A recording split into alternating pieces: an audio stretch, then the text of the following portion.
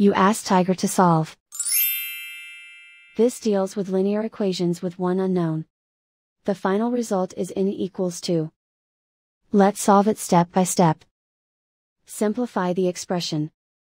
Simplify the arithmetic.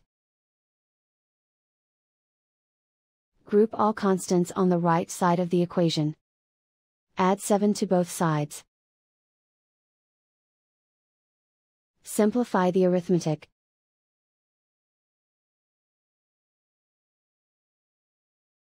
Isolate the n. Divide both sides by 6.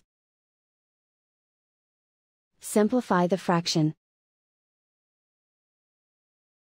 Find the greatest common factor of the numerator and denominator. Factor out and cancel the greatest common factor. And so the final result is n equals 2.